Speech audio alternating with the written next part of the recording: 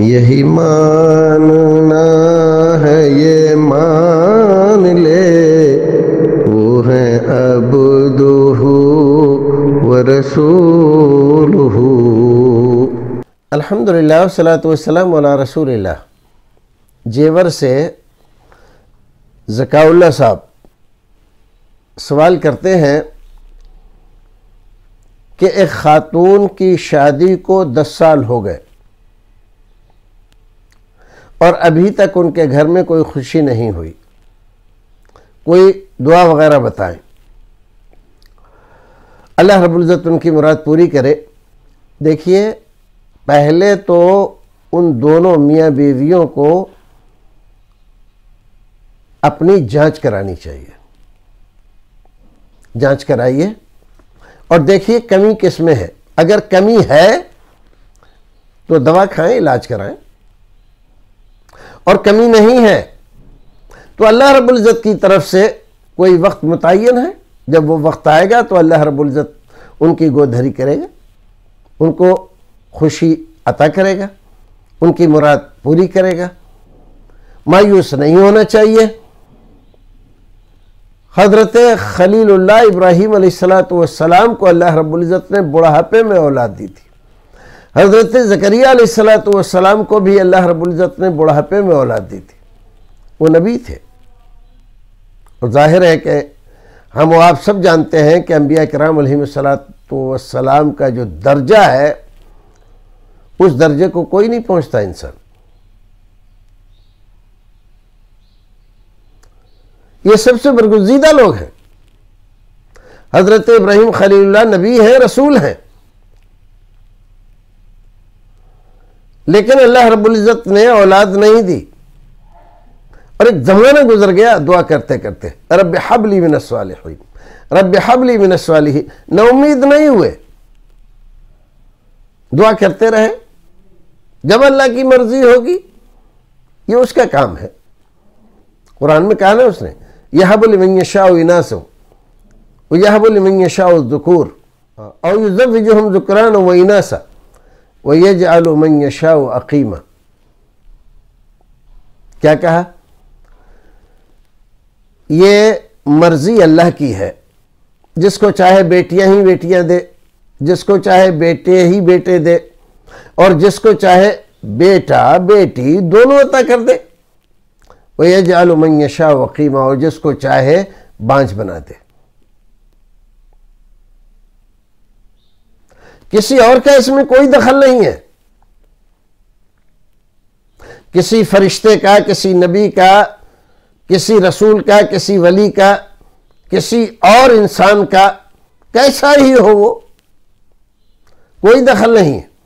बेटा बेटी देना खालिस अल्लाह रब्बुल इज़्ज़त का काम है।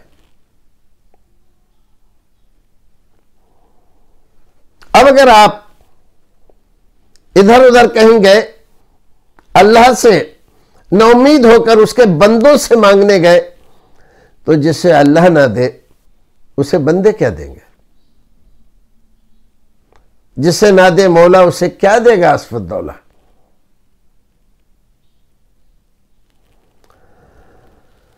तो इस गुमराही और जलालत में कभी ना फंसे, उम्मीद अल्लाह रब्बुल इज़्ज़त से रखें, अगर उसने फैसला किया है आपको देने का और जब देने का, वही फैसला उसका बेहतर है अच्छा है, हिकमत भरा है, हम उसकी हिकमत को नहीं जानते।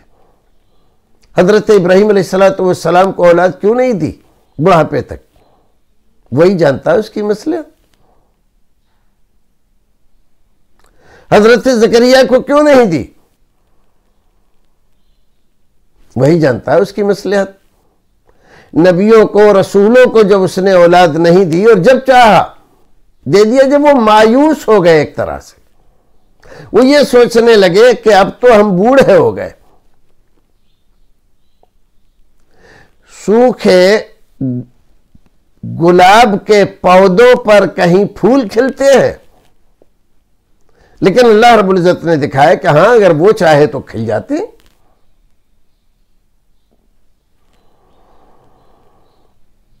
वो बगैर बाप के जब औलाद दे सकता है तो उसके लिए क्या दुश्वार है?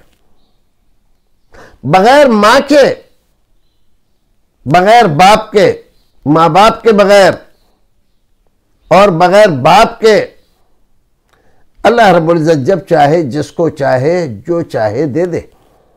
ये उसकी अपनी मर्ज़ी है, ये उसका अपना इख्तियार है। किसी दूसरे को ये इख्तियार देना और ये समझना कि वो दे देगा, ये खुला हुआ शिरक है। बेटा बेटी, किसी दूसरे से मांगना, चाहे फरिश्ते से मांगे, नबी से, रसूल से, किसी से भी मांगे, ये शिरक है। नाजायज और हराम और शिरक है अब इन्होंने दरख्वास्त की कोई दुआ बताई जाए तो सबसे बेहतर दुआ अम्बिया कराम सलात तस्लीम की और वो दुआ क्या है? रब हबली मिन सालिन हज़रत इब्राहिम सलाम की दुआ। हज़रत ज़करियासलाम की दुआ। रबिला तजरनी फ़रदवान खैरवारसिन और इसी के साथ ज़्यादा से ज़्यादा सदका और खैरात किया करें। सदका खैरात, अल्लाह के गज़ब को रोक देता है, उसके गुस्से को बुझा देता है, उसकी रहमतों को हमारे लिए वाजिब करता है। तो सदका खैरात करें, अल्लाह रबुल्ज़त राज़ी हो जाएगा तो आपको औलाद हो जाएगी। दस साल कोई बड़ी मुद्दत नहीं है। अम्बिया कराम अगर बुढ़ापे तक इंतज़ार करके भी ये दुआ करते हैं रब हबली मिनसवालहीन और फिर अल्लाह रबुल्ज़त फ़रिश्तों के ज़रिए उनको बिशारत सुनाता है कि अब औलाद होगी। तो उनको ताजुब होता है कि अब। और जब उन्होंने अपनी जोज मोहतरमा से कहा कि सुनती हो ये क्या कह रहे हैं तो उन्होंने सुना तो उनको भी बड़ा ताजुब हुआ। अना अजूज वहाजा बाली शेखा। मैं बुढ़िया हो गई है। और ये मेरे शोहर नामदार बुढ़ापे को पहुँच गए, अब औलाद होगी।